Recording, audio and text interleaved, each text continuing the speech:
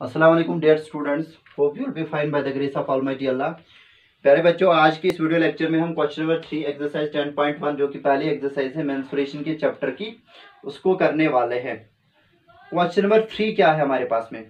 The shape of the garden is rectangular in the middle and semi circular at the end as shown in the diagram जो हमने यहाँ पे बनाई है। Find the area and the perimeter of this garden length of rectangle equal to twenty minus three point five plus three point five कुल मिला के question number three में हमें एक गार्डन दिया गया है जो कि बीच में एट द मिडल रेक्टेंगल की शेप पॉजिस करता है और जो इसके एंड से वो बिल्कुल दो सेमी सर्कल्स है.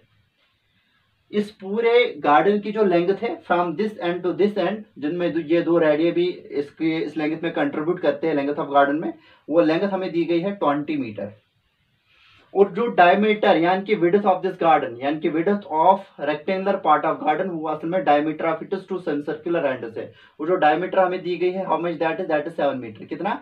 सेवन मीटर दी गई है। तो रेडियस ज़ाहिर सी बात है थ्री पॉइंट फाइव होगा बिकॉज़ रेडियस होता है हाफ़ ऑफ़ डायमीटर इसका मतलब radius of it is two circular end three point five metre ही होगा। थ्री पॉइंट फाइव मीटर ही होगा बेटा, ठीक है? अब अगर हम एरिया ऑफ़ दिस गार्डन निकालना चाहेंगे area of this garden area of it is rectangular part plus area of it is two semi circular ends होगा। दोनों सेम सर्कुलर एंडस कॉन्ग्रेट है तो इनका एरिया सेम होगा। इसका मतलब और हम एक सेम सर्कुलर एंड का एरिया निकालेंगे। दो का आएगा टू टाइम्स यानी कि area of this garden simply होगा। Area of rectangular part plus two times area of it is one semi circular end circular end का एरिया निकालना हमारे लिए बहुत आसान है बिकॉज़ उसके लिए फार्मूला है one of pi r square because area of full circle is pi r square area of semi circle will be half of pi r square और आर हमें पता है 3.5 है। आर स्क्वायर चढ़ाएँगे 3.5 point five into three point five मसला नहीं है semi circular end का एरिया निकालना। मसला यहाँ पे ये है कि रेक्टेंगुलर पार्ट का एरिया कैसे निकालेंगे? उसके लिए हमें उसके रेक्टेंगुलर पार्ट की लेंथ पता होनी चाहिए और वेडथ पता होनी चाहिए। अब देखिए बेटा लेंथ ऑफ़ रेक्टेंगुलर पार्ट जो है ना बेटा, वो एल डैश से हम डिनोट करेंगे। वो बिल्कुल length of rectangular part total length of garden minus ये रेडियस और ये रेडियस घटाना पड़ेगा, यानी कि टू आर यानी कि आर प्लस आर इसमें से घटाना पड़ेगा total length of the rectangle total length total length of the garden में से हमने दो रेडियो की लेंथ दो सेम सर्कुलर एंड के रेडियो को घटाना पड़ेगा बिकॉज़ वो भी तो कंट्रीब्यूट करते हैं ना गार्डन की लेंथ में। एज अ रिज़ल्ट वो कितना आएगा? That will be twenty minus two into three point five यानी कि आएगा twenty minus three point three point five into two वो कितना आएगा सेवन वो आएगा थर्टीन मीटर यानी कि थर्टीन मीटर इसकी लेंथ है, जो कि हमने डिनोट की एल डैश से।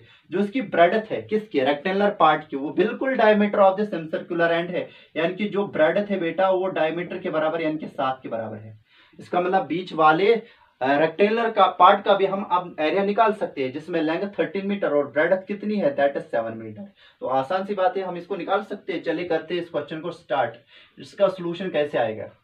हम लिखेंगे ऐसे ही यार length of garden length of garden कितनी है? दैट इज़ एल वो ट्वेंटी मीटर है बेटा। उसके बाद में हम क्या करेंगे? Also the diameter diameter of it is of it is semi circular ends diameter इसके सेम सर्कुलर एंड का क्या है? D equal to seven metre तो इसका मतलब है कि radius of semi circular end seven upon two होगा विच इम्प्लाइज दैट जो radius of semi circular end r होगा, वो थ्री पॉइंट फाइव मीटर होगा। ठीक है बेटा? अब हम क्या करेंगे बेटा? अब हम डायमेंशन ऑफ़ रेक्टेंगुलर पार्ट निकालेंगे। Now length of length of rectangular part rectangular part की लेंथ क्या है?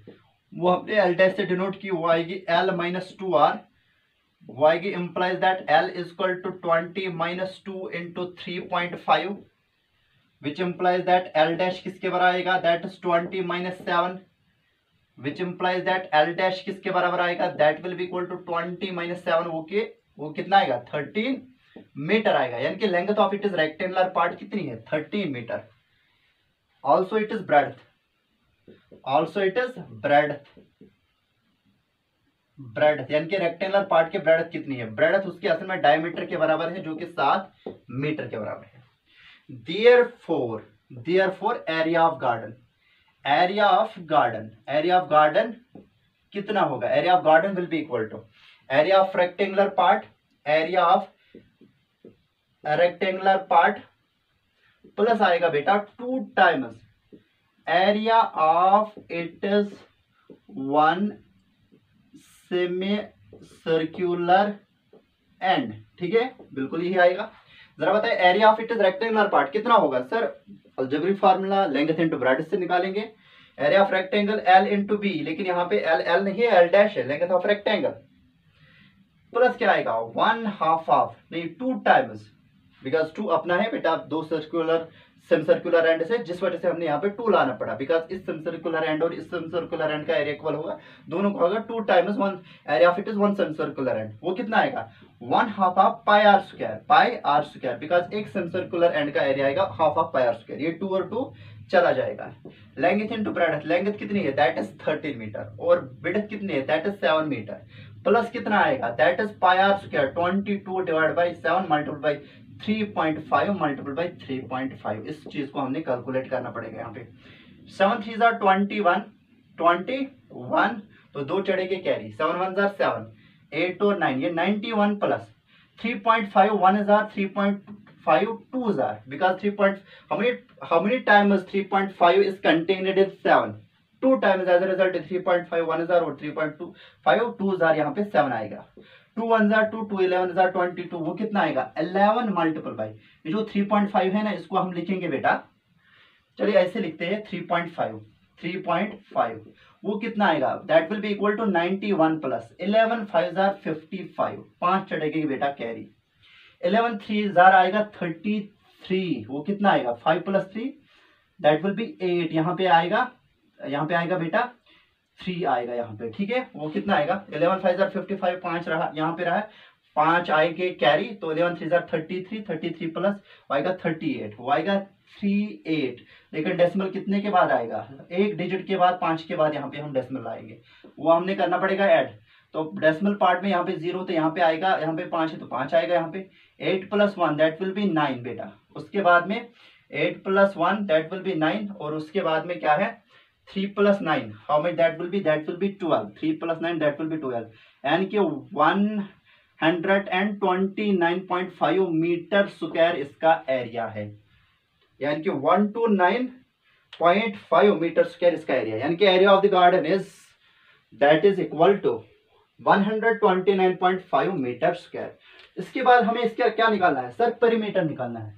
परिमीटर मतलब किसी भी जोमेट्रिकल फिगर की total boundary length perimeter of this garden will be actually equal to half of perimeter of it is 2 times, perimeter of it is semicircular and plus 2 times जो length होगी ना बेटा length of it is rectangular part वो हमने करना पड़ेगा। देखिए बेटा पेरीमीटर ऑफ़ दिस गार्डन किसके बराबर आएगा? एक तो ये length of the length of the rectangular part उसमें कंट्रीब्यूट करती है और ऊपर की length L plus L twelve आएगा। ट्वेल्व प्लस ये पूरा सर्कल अगर होता, वो आता टू पाई आर स्क्वायर लेकिन ये आधा सर्कल है सन सर्कल है तो इसकी इसकी लेंथ कितनी आएगी? Half of two pi r half of two pi r यहाँ पे half of two pi r यहाँ पे half of two pi r इसका मतलब total perimeter of this garden will be two times half of two pi r two times circumference of it is one semicircular end ठीक है plus आएगा two times length of the rectangular part वही करेंगे हम यहाँ पे, ठीक है? यहाँ पे हम लिखेंगे बेटा ऑल्सो यहाँ पे, इस वाले पोर्शन में।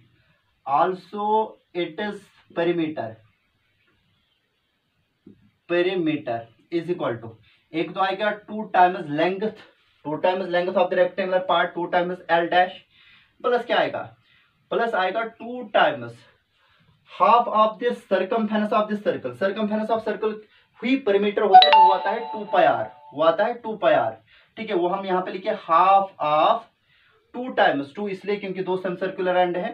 और half of two pi r यहाँ पे आएगा टू पाई आर तो ये और ये कैंसिल हो जाएगा। That will be two times L dash plus क्या आएगा बेटा? प्लस आएगा two into pi into r ये चीज़ आप कैलकुलेट करोगे that will be the total perimeter of this very rectangular garden hope you have understood it thank you बेटा thank you